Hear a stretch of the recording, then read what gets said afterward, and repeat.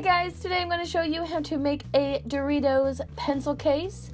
This is a collab with some wonderful crafters here on YouTube, including Sarah from So Craftastic, Ashley from Ashley Ann Laz, and Jennifer from Wonderland Crafter. I'll put the links to all of their videos down below in the description, but let's go ahead and get started. First, you're going to need a bag of Doritos or any chips that you enjoy. Gently open the top so that you don't rip anything, and then eat the chips. My favorite part of the tutorial. Then you're going to open the other side of the chip bag once it's empty and then cut down the middle of the back. So you should have one giant piece like this. Now the inside of the chip bag is going to have crumbs and oils, so just wipe those down with a wet paper towel or a wipe. Then you're going to need some duct tape. I'm using this gold duct tape. You can use whatever color you want to. I got this one at Walmart, but we're just going to basically line all of the silver lining of the bag with the duct tape.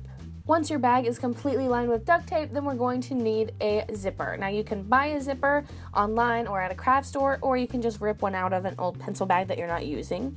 You're going to put your zipper face down on the right side of the chip bag, so on the outside part. So it'll look like this.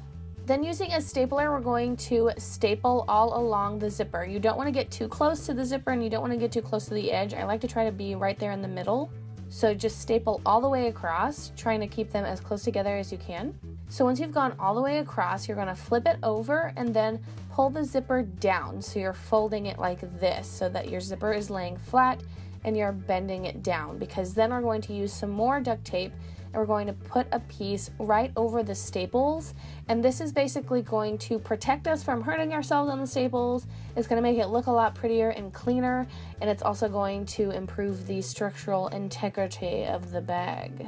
Make sure you don't put duct tape over the zipper, otherwise we won't be able to open it. Now we're going to open up the zipper. This is very important because if you don't open the zipper, you won't be able to turn it inside out later. So now we're going to place the other side of the zipper on again the front side of the bag, but the other side. Does that make sense? I hope that makes sense. Then again, once we've stapled all the way across, turn it over and fold it down so that the duct tape is touching the duct tape, and then put a piece of duct tape over those staples. And this is what it should look like. We want the pouch to look like the chip bag, so make sure that the zipper is centered and then staple along the tops and bottoms of the bag and then duct tape over those as well. So now that everything is duct taped, we're going to gently and slowly turn the entire bag inside out. This is why we left the zipper open, otherwise there wouldn't be a hole for us to turn it inside out. And once it's turned inside out, you have a really cool zipper pouch made out of a chip bag. You can do this with candy bags, you can do it with chip bags, pretty much anything that has a bag you can make into a zipper pouch using duct tape.